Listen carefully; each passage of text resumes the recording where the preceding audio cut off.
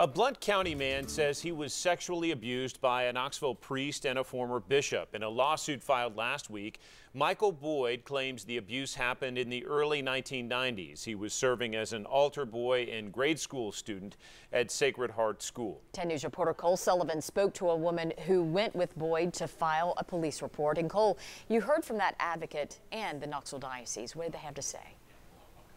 John Robin, the advocate says recent headlines about abuse and cover ups in other parts of the country convinced Boyd to come forward.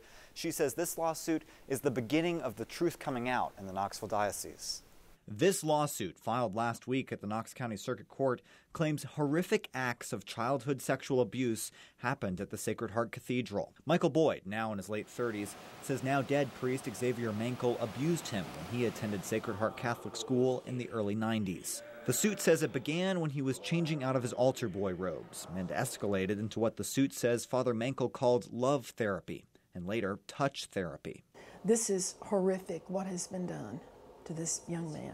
Susan Vance of the Survivors Network of those abused by priests went with Boyd to file this police report last September. That was a cathartic moment for him because he was finally, finally speaking the truth. The suit says then Bishop Anthony O'Connell also engaged in inappropriate touching and sexual contact with Boyd.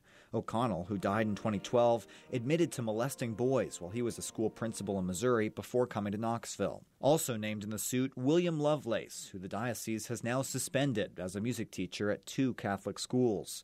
Boyd claims Lovelace tried to get him to touch him inappropriately. In a statement, Bishop Richard Stika says the church contacted authorities when presented with the allegations. He also says its independent investigation, quote, concluded there was no finding of credible evidence to support the allegations. But Vance says it's true and a first step toward accountability. What you're seeing here today in this lawsuit is the beginning of the truth being told finally.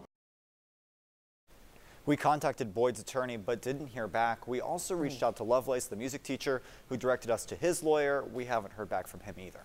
Robin and John. Cole Sullivan on this story. Thank you.